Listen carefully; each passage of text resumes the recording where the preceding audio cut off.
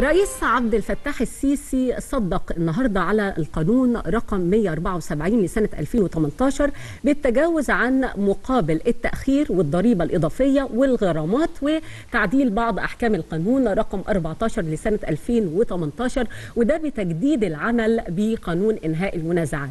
دكتور محمد معيط وزير المالية أكد أن القانون في إطار طرح مبادرات وإصدار قرارات لمساندة رجال الصناعة وتشجيع المستثمرين على زيادة استثماراتهم. بيعتبر ده كمان خطوة هامة في تحصيل مستحقات الدولة من متأخرات ضريبية والتخفيف عن المحاكم والحد من